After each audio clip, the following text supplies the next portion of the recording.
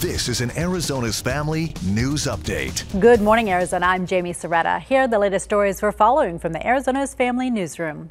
There is a Stop Asian Hate rally happening tonight in downtown Chandler. It is from 6 to 7. They say to bring your own candle or flashlight. A woman was hit and killed by a train in the valley. This happened last night near 27th Avenue and Thomas. A witness says they saw the woman walking on the tracks when she was hit. It is unclear why she was there.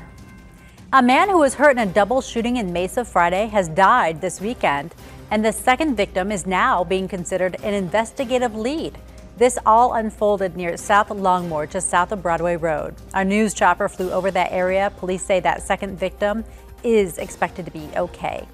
In Goodyear, two people were killed in a crash on Highway 238 at 99th Avenue. Maricopa Fire says the two victims died at the scene.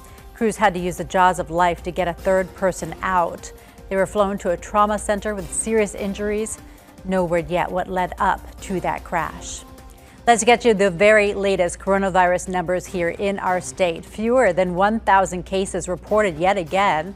488 new confirmed cases, along with 12 additional deaths. These are new numbers today. Since the start of the pandemic, there have been more than 836,000 positive cases and nearly 17,000 Arizonans have died of COVID related complications.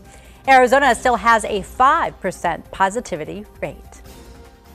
I'm Kylee Cruz with a look at your Sunday forecast. The 70s are going to stick around for quite some time. Today, look for 78 degrees and breezy. Tomorrow, we'll still see breeziness. Keep in mind, it is springtime. Temperatures will drop a little bit for your Monday, 76. By Tuesday, we're just at 71, and we do have about a 20% chance we could see a little bit of rain here in the valley. Also, a 20% chance on Wednesday with highs in the low 70s still. And then we're going to bump things up Thursday, Friday, and Saturday with temperatures a little closer to the upper 70s.